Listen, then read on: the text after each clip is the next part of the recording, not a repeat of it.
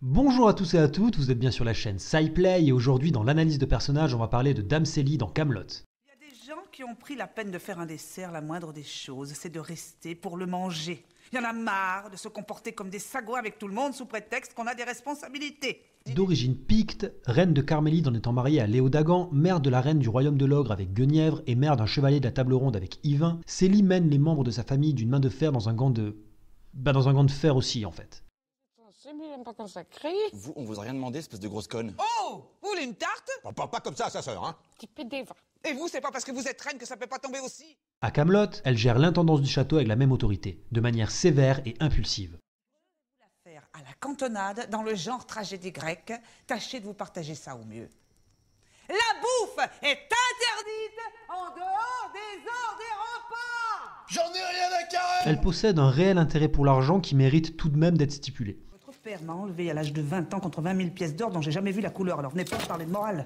Qu'est-ce que je vais dire à Arthur, moi Et à papa? À Arthur que vous avez été enlevé par amour. Et à votre père qu'il faut que le pognon ça circule. Mais elle considère surtout que c'est elle qui tire les ficelles en Carmélide et je ne sais pas pour vous, mais moi j'ai tendance à la croire. Enfin, tout le monde le sait en Carmélite que vous êtes une patate. Seulement, ça passe parce que les gens savent que c'est moi qui tire les ficelles dans l'arrière-boutique. Cependant, il y a un sujet que Célie remet sans cesse sur la table, l'héritier. Elle souhaite plus que tout devenir la grand-mère du futur héritier et elle est prête à tout pour y parvenir. Ouf Bon, alors et nous? Qu'est-ce qu'on fait? On traite ou on se fâche? On se fâche. On traite.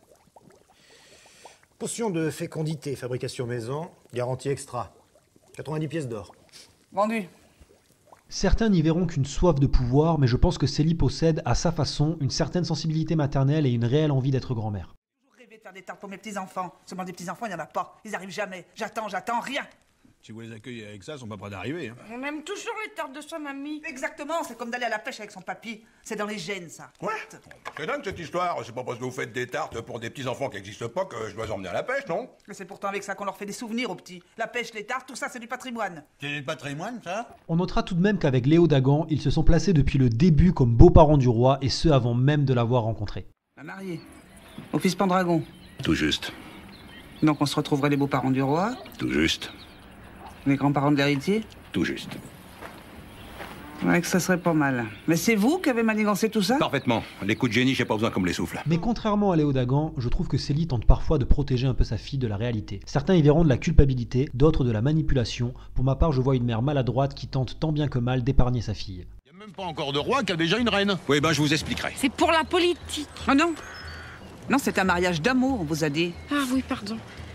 Oui, mais sauf que je le connais pas, alors comment vous expliquer Non, mais l'amour, ça s'explique pas. Célie a besoin de tout contrôler. Sa famille, la Carmélide, l'intendance de Camelot, et qu'en est-il des dieux dans tout ça? Car lorsqu'Arthur replante Excalibur, ce qui inquiète Célie, c'est bien que les dieux, comme l'ensemble de son entourage, fassent un peu n'importe quoi.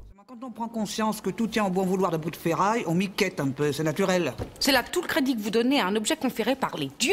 Oh, les dieux, les dieux. Si les dieux avaient dû être de notre côté, ils nous auraient pas refilé des enfants comme vous déjà. Et pour finir, s'il y a bien quelqu'un qui a conscience de l'importance de Célie, c'est Léo Dagan. Lorsqu'il est nommé régent, la première chose qu'il fait est d'autoriser Célie à participer aux réunions de la table ronde. Célie fait partie de ces personnes qu'il vaut mieux avoir avec soi que contre soi. C'est qui? C'est moi? Non, mais vous, bon, il y a l'air d'avoir un genre de dérogation. C'est ça, oui. Un genre de dérogation. Ah bah, la dérogation, elle est simple. Hein. On arrête de se compliquer la vie avec euh, toutes ces histoires de chevalerie. Il n'est plus besoin d'être chevalier pour être admis aux réunions de la table ronde. On arrive à la fin de cette analyse de personnages consacrée à Dame Célie. J'espère que ça vous a plu et si c'est le cas, pensez au petit pouce bleu. Il a passé la matinée. Vous faites des tartes ou maintenant Et alors, faut un permis? La vache, ça vous rend pas aimable en tout cas, hein Pour le prochain épisode de l'analyse de personnages, vous avez le choix entre deux duos incontournables de Camelot. Soit les paysans Guetno et Roparts, soit les petits pédestres dont un au lion, Yvain et Gauvin. N'hésitez pas à voter dans les commentaires en écrivant en majuscule votre choix. Pensez aussi à vous abonner si ce n'est pas déjà fait. Et pour ma part, je vous dis à très bientôt, c'était SciPlay.